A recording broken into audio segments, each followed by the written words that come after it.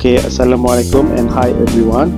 Alright, so in this video, I'm going to continue our discussion in tutorial part 4, phase diagram, chapter 5, states of matter for phase diagram. Okay, so kita tengok apakah soalan yang kita akan sambung di dalam uh, video kita pada kali ini.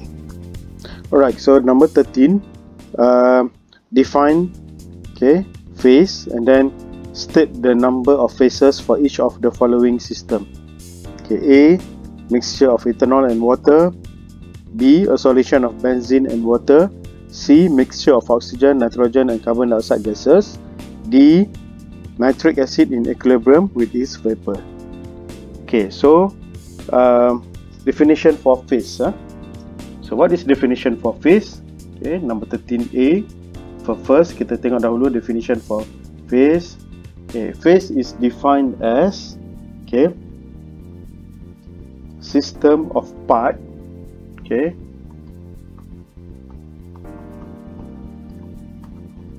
System of part of it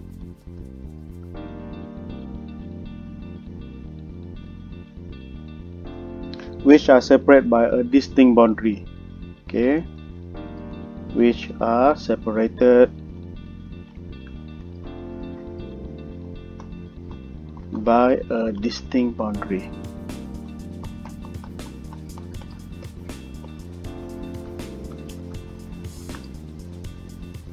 Okay, such as solid, liquid, and gas. Okay, so the next question, question A, a mixture of ethanol and water. So a mixture of ethanol and water contain berapa phase? Okay, it contain one phase. Okay, because they are mixture. Okay, next. A solution of benzene and water. So as a solution of benzene and water, okay, solution means dia ada solute, dia ada solvent. Dia dia ada dua phase, okay, dua solid and solvent, maksudnya dia adalah dua phase. Okay, two phase. Next a mixture of oxygen, nitrogen and carbon dioxide gases. So mixture maksudnya campuran, okay, gases di satu phase sahaja. Okay, so it contain one phase. Okay, right, and then D, nitric acid uh, aqueous in equilibrium with its vapor. So nitric acid aqueous and vapor. So dia ada berapa phase di sini? We have two phase. Okay. Alright, so that's all for question number 13. Okay, so next we proceed to question number 14. So for question number 14, uh, you are going to define the critical point and triple point. Okay, B, uh, we are going to draw uh, and sketch a phase diagram. Okay, so definition for critical and triple point. Critical point is the point on the liquid gas equilibrium curve okay, above which it is impossible to condense the gas into a liquid. Okay, right. Then for triple point, okay, definition for triple point dia adalah point untuk three phases. Okay, di mana solid, liquid, and gases can coexist at the same temperature and pressure. Okay, so this is the definition for critical, okay, critical and tri triple point okay critical and triple point. All right so next okay the question uh, table 3 shows data phase equilibrium diagram for carbon dioxide. Sketch a phase diagram for carbon dioxide. Okay so um, to sketch a phase diagram untuk carbon dioxide pertama sekali kita mesti draw axis okay phase diagram for carbon dioxide. So we draw axis okay x uh, y-axis and x-axis. So for y-axis, okay, here, okay, y ialah pressure. So the pressure is in ATM. Okay. To x-axis, this one adalah temperature in degree Celsius. Okay. Alright. Then kita draw the line that separates solid and gas. Okay. The next one liquid and gas and then we have solid and liquid Okay, so dia berbentuk apa? Huruf Y. Right. And then um, triple point is at 5.2 ATM. Okay, so the triple point. Okay, 5.2 ATM and critical point at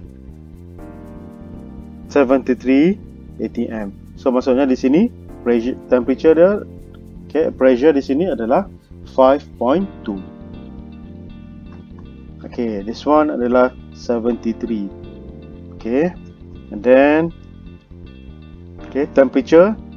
Okay, the temperature for critical point for carbon dioxide is 31 degree Celsius. Okay, then temperature for triple point is negative 57 degree Celsius. Okay, alright. So jangan lupa labelkan this one adalah fasa apa?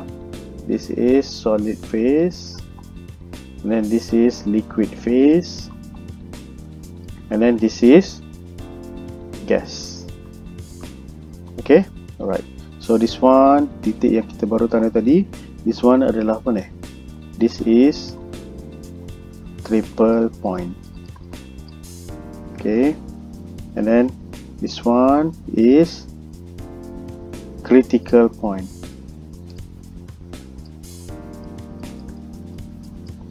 Okay, alright. So ini adalah phase diagram untuk phase diagram yang kita sketch for carbon dioxide. Okay, the next question. Explain the phase changes that could possibly occur when a sample of carbon dioxide in a closed vessel under 1 atm pressure and temperature of negative 78 degrees Celsius is pressurized isothermally to 10 atm followed by isobaric heating to 20 degrees Celsius. Okay, so ada term dua term yang kita sudah belajar dekat dalam lecture iaitu isothermal dan juga isobaric.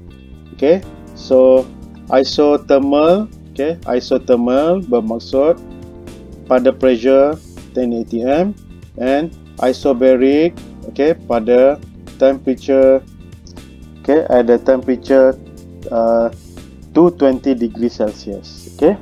Alright. Jadi, pertama sekali kita tengok in a closed container. Okay, di dalam closed container. Okay, pressure is equal to 1 atm. Okay, jadi bila pressure is 1 atm and temperature negative 78 degree Celsius, carbon dioxide, okay, so di mana 1 atm? So, this one 1 atm, okay, di bawah ni kita ada 1 atm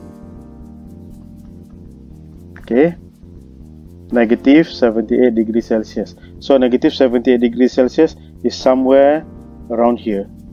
Okay. Uh, dia berada di sini lah. Negative 78 jadi it maybe exist sebagai apa?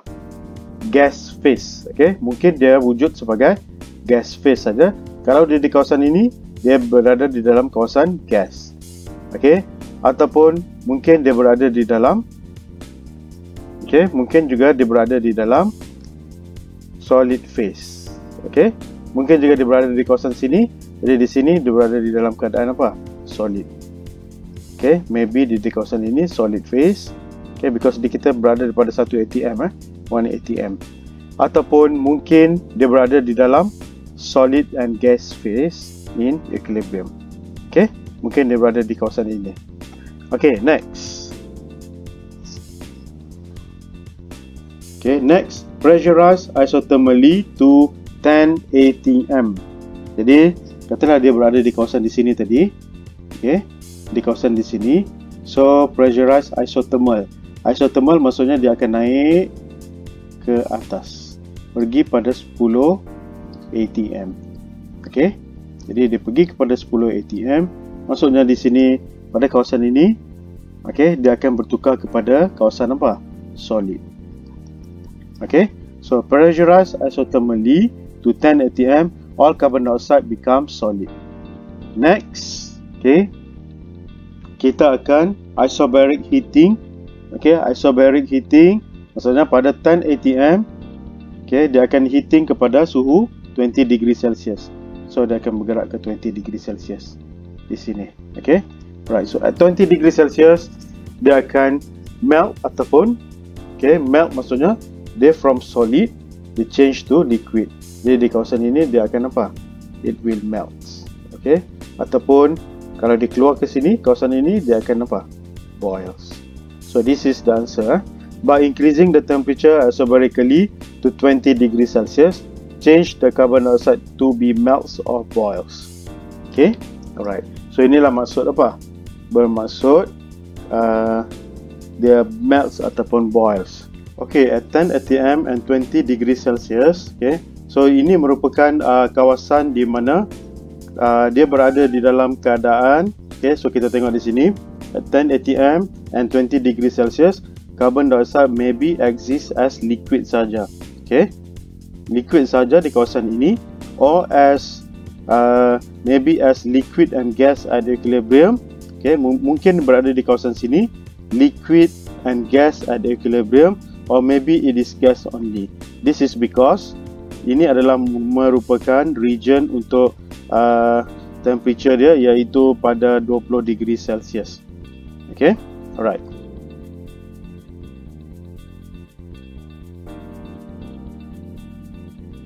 figure below shows a phase diagram for water. Okay, so berbeza kan? Water tadi, okay, water sekarang ni dia punya slope is negative slope. Okay, for carbon dioxide just now is hmm, positive slope. Slope macam biasa, bentuk Y. Okay, right. So, which curve represent the equilibrium between ice and water vapor? Okay, ice and water vapor. Di mana ice? So this one, okay, kita tandakan awal-awal di sini. Okay, so this is solid. Okay this one is liquid. So di sini adalah vapor ataupun gas. Okay sebab dia air. Jadi air kita panggil vapor eh. Okay which curve represent equilibrium between ice and water vapor? So this is ice and water. So which curve? Curve yang represent ini adalah curve. Okay answer for a. Okay curve bc okay BC curve that represent okay ice and water vapor in equilibrium. Okay, question B. State the phase changes when sample at point E. So you have point E di sini. Okay, is heated at constant pressure. So mana constant pressure meaning that dia akan bergerak ke kanan. Eh? Heated mean temperature dia akan apa? Temperature temperature will increase. Okay. So dia sampailah dekat point F. Okay. Jadi hint dia draw and label new points in your diagram to explain your answer. Jadi saya ada tiga point yang baru saya letak di sini. Okay. So di sini ialah X this is Y this is point Z. So at point E okay dekat point E okay point E dia wujud dalam keadaan solid phase okay. And then at point X dia wujud di dalam solid and liquid di dalam keadaan keseimbangan equilibrium. Okay. Point Y okay dalam keadaan apa? Liquid phase. And then we have point X Z okay sorry. Point Z dia berada di dalam liquid and vapor okay equilibrium. Then the last one at point F okay dia wujud dalam keadaan vapor phase. Okay right. So vapor phase.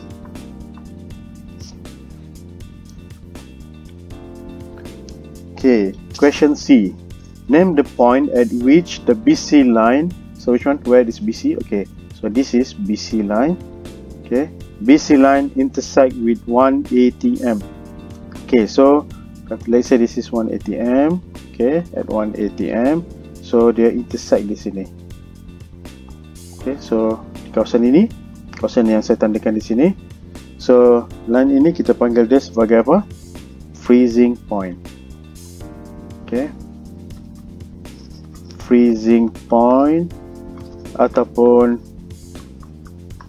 melting point takat beku ataupun takat didih okay Alright, sebab dia ber, dia ber uh, apa intersect at 9 BC.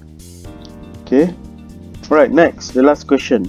The BC line has a negative slope. Explain. Okay, so reason dia sebab apa? Okay, this one explanation yang selalu kita sudah explain. Okay. This is because Okay, this is because ice is less dense than water. While okay, most solids are denser than their liquid.